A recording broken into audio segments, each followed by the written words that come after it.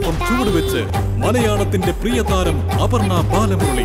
ഇതുവരെ നിങ്ങൾ എന്നെ സ്ക്രീനിൽ കണ്ടെന്നും ഡിഫറെന്റ് ആയിട്ടുള്ള ഒരു ആക്ടർ ആയിരിക്കും എന്നുള്ളത് ഉറപ്പ് അറിയാണ് നിന്റെ കണ്ണിൽ ഏഷ്യാനെറ്റ് ഫിലിം അവാർഡ്സ്. ജൂൺ രണ്ട് മൂന്ന് ശനി ഞായർ ദിവസങ്ങളിൽ രാത്രി ഏഴ് മണിക്ക്